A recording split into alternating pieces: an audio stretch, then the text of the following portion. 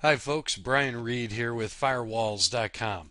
In this video I'm going to show you how you can create a NAT policy that will take an outbound IP address and actually reroute it back to an internal IP address on your network. Alright, so here's how it's done. Inside the admin console, we go to Network, NAT Policies, and we select Add. And for the original source, we're going to say any because we're going to originate this actual connection from our LAN side of the network here in a minute. For the translated source, we're going to keep it as original. And for the original destination, we're going to create a new address object. And for the name of this, we're just going to put in the IP address that we're actually going to reroute back inside our network. So we'll use the 24.64.20.20. For the zone assignment, that IP address is located on the WAN and it's a single host. So we'll just go ahead and put the host IP address in there.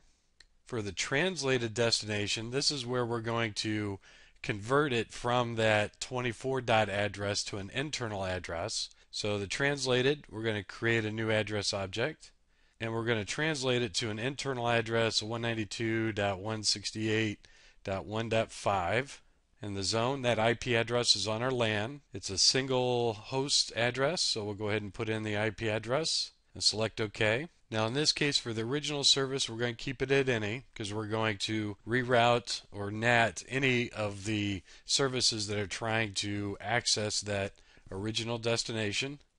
And translated service we're just going to keep it as original as well. And since this is originating from the LAN side of our network we're going to select our inbound interface as X0 and select add. So now we've got our NAT policy set up as you can see here originating from anywhere coming inbound on our X0 or LAN interface in this case and if it's going to this specific address we want to translate it back into this 192 address that's on our LAN side and it's going to apply this policy to any services. Okay, hope you found this video useful. If you have any questions or comments, please enter them in the section below and have a great day.